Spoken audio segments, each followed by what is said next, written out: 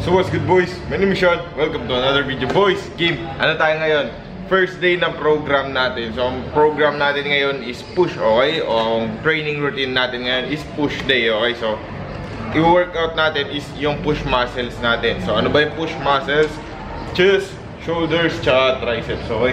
Tapos boy, hingin ko muna i-supportan nyo, tap nyo yung like button, napakalaking tulong. So, medyo voice over tsaka medyo commentary yung gagawin natin para ma-explain ko na maayos. So, yung program na papakita ko sa ngayon sa inyo, ah ito na talaga yung gagawin natin. I-run ko to siguro ng 8 to 12 weeks, depende kung gaano ko siya kahiyang, kung paano ako mag-grow dito sa program na to. So, wala na si Boss B, hindi na siya makakapanggulo sa program. Hindi na siya sumasabay masyado sa akin kasi andito na yung girlfriend ko.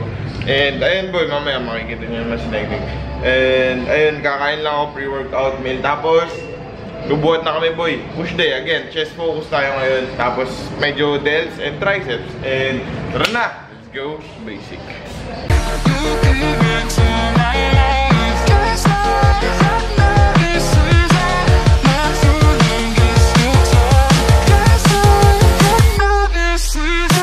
So what's good boys? Welcome for today's workout video. So boy, ngayon nakikita nyo dito sa clip is nagwa-warm up ako boy.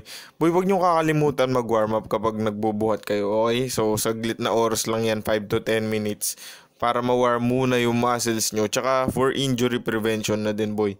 Lalong lalo iniiwasan natin kung gusto natin magtagal dito sa fitness is yung injury. Pag nagka-injury tayo, katapusan na ng ano natin, ng fitness goals natin or whatever we are doing sa gym, 'di ba? So di na natin matutuloy kapag nagka-injury tayo. Kaya wag niyo kakalimutan mag-warm up, boy, okay? Okay, boy, first exercise natin. Semi-incline na ano, bench press dumbbell, okay? Let's go. Dito din boy sa clip na to, makikita nyo na warm up set ko pa tong 70 dumbbells na to boy, okay? So ang goal ko kasi dito is mabuhat ko yung 80 ng 4x15, okay? 4 4 sets, 15 reps. And eto, warm up set pa din to. Pag nabubuhat din kayo ng mga compounds nyo, mag-warm up din kayo. Wag muna agad yung heavy weight, heaviest weight nyo or yung top set nyo, okay? Okay boy, uh, next set natin, yung ano, uh, gusto kong i-record talaga, gusto kong ma-4x15 to bago ako mag-move sa next week, okay? So, magkano lang naman to. Wow.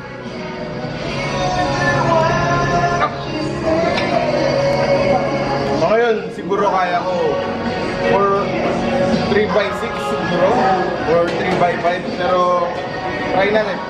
Ito boy, mapapanood nyo sa clip na yung bubuhatin ko na is yung 80. So, na, na, na ano na ako dito, na plateau na ako dito sa 80 dumbbells na to. Gusto ko mabuhat yung 100 boy kasi walang masyadong gumagalaw sa 100s dito sa gym.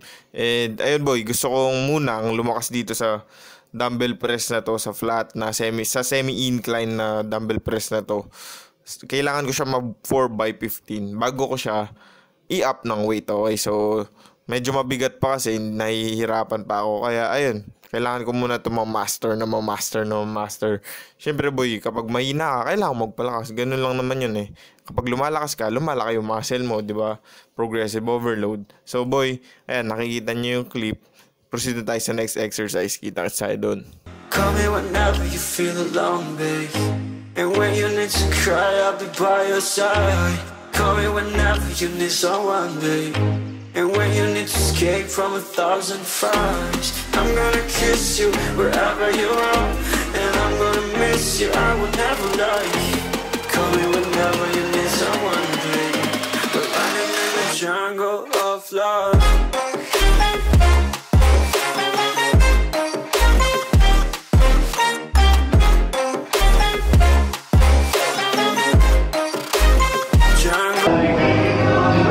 Naka-record oh. Tama ba? Ito yun. Ah. okay boys, so tapos na tayo sa flat na dumbbell press. Next natin is shoulders. Okay, so shoulder natin itong machine. Let's go! So boy, dito naman sa exercise na nakikita nyo, yung machine shoulder press, okay? So boy, dati hindi ko to pinapansin to machine shoulder press ngayon na to. Pero ngayon, favorite ko na siya boy kasi napaka-solid ng tama niya. Kasi dati parang hindi natatamaan, sinasagad ko pa yung weight. Pero ngayon, ano, finifeel ko talaga sa muscle. Okay, ika nga, mind-muscle connection, overweight. Okay, so hindi ko na binibigatan masyado kapag ano, minsan. So, syempre sa mga may necessarying exercise na kailangan bigatan, meron din na ano lang, tama lang, sakto lang, smooth lang, smooth. Okay, so what's good guys? Yung kilay ko nagiging normal na. Nawawala na yung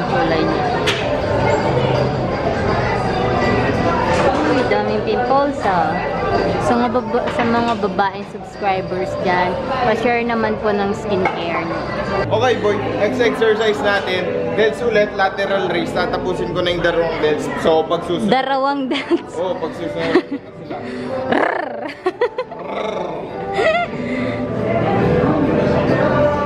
Okay boy, ito next exercise na nakikita nyo is a lateral raise. Okay, so kapag nag-shoulders kayo, itong itong exercise na to, any lateral raise of your choice, huwag nyong aalisin sa shoulder exercise nyo boy kasi ito yung pinakamalupit, yung medial head ng shoulders. Yun yung pinakamalupit boy. Kailangan nyo mabuild yan na mabuild para maging 3D talaga yung delts nyo. Okay? Pero syempre, huwag nyo ne-neglect yung rear. Okay? So, yung fr- front delts naman, pag nagpe-press ka, lagi naman activated yan. Pero medial tsaka rear, yun lang naman. Sa ngayon, medial tong tinatamaan ng lateral raise. Okay boy, next exercise natin, incline bench press dumbbell. Tara! Okay boy, next exercise naman natin is incline dumbbell press. Okay, so boy, medyo napansin ko dito sa incline double press ko is pangit yung form. Okay, so sa mga next exercise ko or next session ko na may incline double press, aayusin ko kasi yan. Medyo parang nasushortan ako sa range of motion. Kailangan ko munang i-correct yun. Okay, so nakikita nyo naman, short. Okay, aminado naman ako doon and kailangan natin i-correct syempre. Kaya maganda rin nagvo-vlog ako sa kapag workout, nako-correct ko yung mga mistakes ko boy. And aayusin ko yan sa susunod. Pero yan yung next exercise natin. Incline double press works your anterior deltoids and syempre yung pec minor or yung upper chest. Okay, so yan. Yun lang naman yung exercise na yan.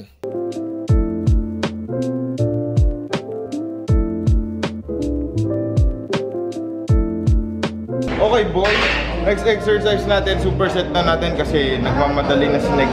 Eh? Baka makipag-breakan siya pag ano, pag di pa ako natapos. Try. So, exercise natin, back deck superset sa overhead tricep extension na single. Ay, ano, basta yung ganyan. Dumbbell, sabi mo na lang. Single. Gusto mo maging single? Ako malapit na ako mag-single. Okay. Single status meron na ako. Okay boy, next exercise naman natin na makikita nyo is pec deck. Okay, so itong pec deck machine din to. Napakadali na lang gamitin. Kailangan nyo na lang ramdamin sa muscle group na tina-target nyo yung machine, okay? Or yung buhat. Siyempre boy, minsan yung iba nakikita nyo parang paru-paro nagpe-pec deck yung di mo alam kung anong ginagawa. Parang gusto lumipad pinip, sobrang bilis sila mag-pec deck. Hindi ganun boy. Syempre kailangan yung i-feel nga sa muscle nyo yung buhat, okay. Mas effective yung nafe-feel nyo siya, okay. Hindi ko naman sinasabing hindi effective kapag gusto nyo maging paru-paro. Pero mas maganda, slow lang. Slowly but surely, ika nga.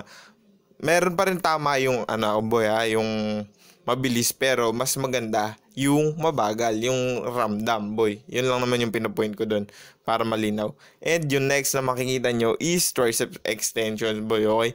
Kapag tricep extension, okay, ang wino-work niyan sa tricep nyo is yung long head part. Kasi pag puro press down, lateral head yung wino-work niya or yung parang kutsilyo sa tricep. Pero dito, long head, yung nasa likod na parte. Okay, boy?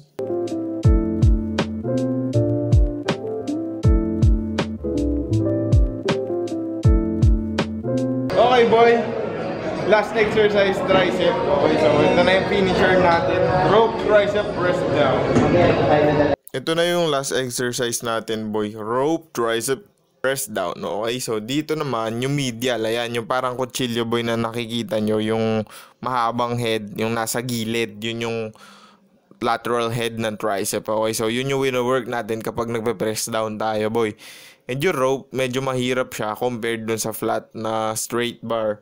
Ewan ko bakit, ano yung logic doon. Pero para sa akin, mas mahirap yung rope. Ayan lang naman, boy, para sa lahat ng exercise natin. Sa push day A, maraming maraming salamat sa inyo. Okay boys, so hanggang dito na lang yung workout natin. So push day tayo ngayon, chest, shoulders, and tricep. And yun yung day 1 natin. Sana ah nag-enjoy kayo. Lalagay ko na lang sa description box yung full workout. Sa pinakababa, check nyo.